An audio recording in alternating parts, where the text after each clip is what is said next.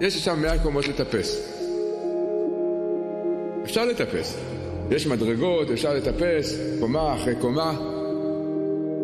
אבל מה, זה קשה.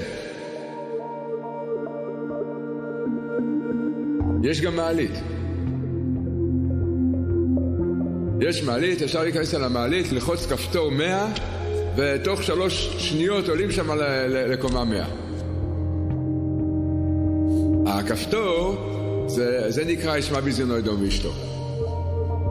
ברגע שאדם מוכן לקבל על עצמו את הדרך הזאת, אז במקום לעלות את כל הדרך במדרגות, שזה לוקח זמן, וזה כוחות, וזה מאמצים, אז הוא נכנס למעלית, לוחץ 100, ופתאום הוא מוצא את עצמו בקומה 100.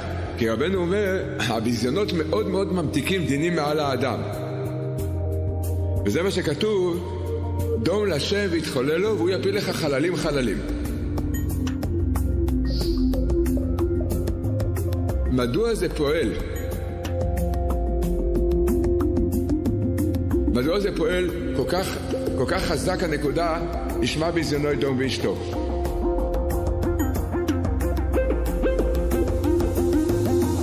כל פעם שאדם זוכה, כל פעם שאדם זוכה לשתוק מהביזיונות שהוא מקבל, אז רבנו אומר, הוא הופך דם לדום.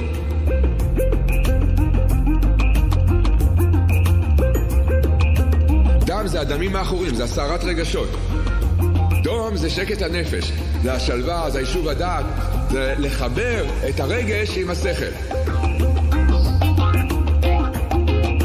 אל תיפול בדעתך.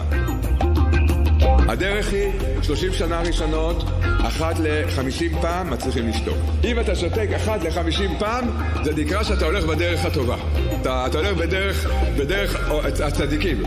אחרי 30 שנה יש עוד 30 שנה שאתה שותק פעם ו-30 פעם, אחרי 60 שנה כבר אדם אין לו כבר כוח בכלל. הוא כבר זקן, אין לו כוח, אז הוא כבר לא, הוא כבר לא עונה. אבל באמת, הדרך הזאת זה דרך מאוד מאוד לא פשוטה.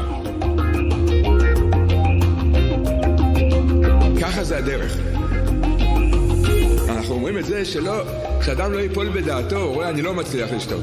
לא, זה, זה, זה לא רק אתה. זה כולנו לא מצליחים לשתוק. זה קשה, זה קשה, כל הגבורות גועשות ורועשות בתוכנו. אל תיפול בדעתך. ככה זה הדרך. שברגע שאדם מבזים אותו והוא שותק, אז שידע שעכשיו משבחים אותו בשמיים. זה הולך ככה.